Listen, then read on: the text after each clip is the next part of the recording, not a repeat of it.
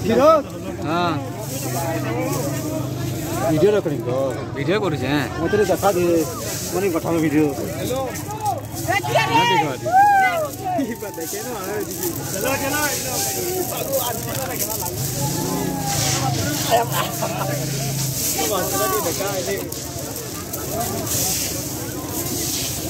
ସେଠି ଦେଖ ମୁଣ୍ଡା କରେ ନା ପଡି ଅବର ପଡିବା ଯାହା ପଡ଼ିଲା ସେ ସେଠି ପଡ଼ିଲା ଦେଖ ଅବର ଏଇଟା ଅବର ପଡିବା